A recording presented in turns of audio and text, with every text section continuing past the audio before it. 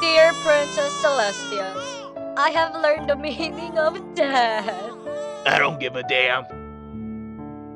Who wants a barbecue? Yeehaw! Aw, man. I can't believe Pinkie's dead, man. She owed me money. I can't believe I'm dead either. You're making faces. I can make a face too. Watch.